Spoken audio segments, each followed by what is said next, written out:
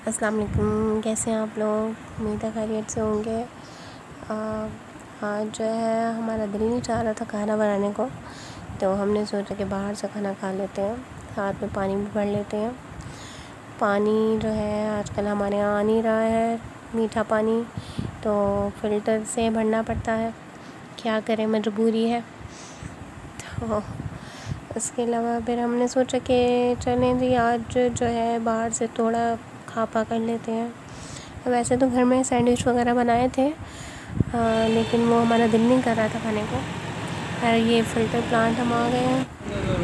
और फिर हम अपना ऑर्डर रिसीव करने गए अपनी बाइक पे। बहुत ज़्यादा अंधेरा भी हो गया था।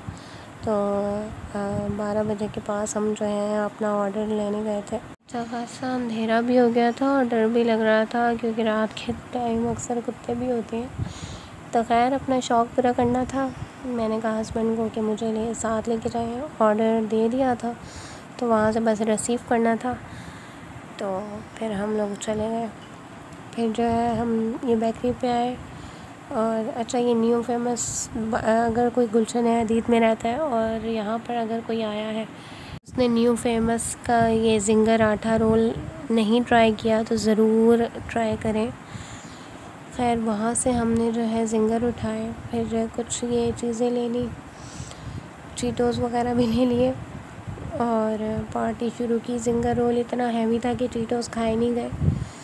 तो खैर ये हमारी यमियस्ट जिंगर आटा रोल में हो तो ज़रूर ट्राई कीजिएगा। अगर वीडियो पसंद आए तो लाइक